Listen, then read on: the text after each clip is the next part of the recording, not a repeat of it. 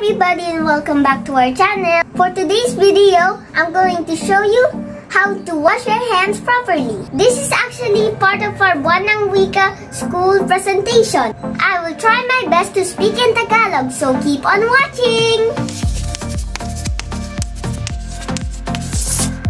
Anim na hakbang sa paghuhugas ng kamay. Basain ang kamay ng tubig.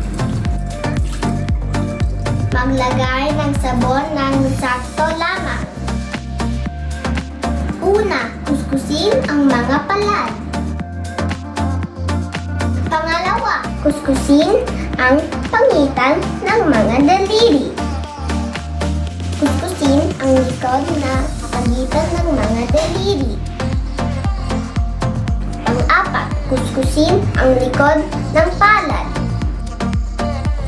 Panglima, kuskusin ang hin hinlalaki ng kabilang kamay. Pang-anim, kuskusin ang dulo ng mga daliri. Ulitin natin mula una hanggang pang-anim.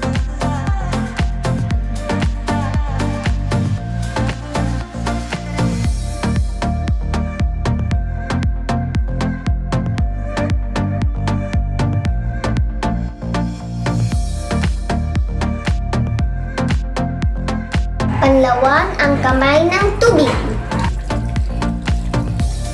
Malinis at ligtas na sa dumi ng ang iyong mga kamay.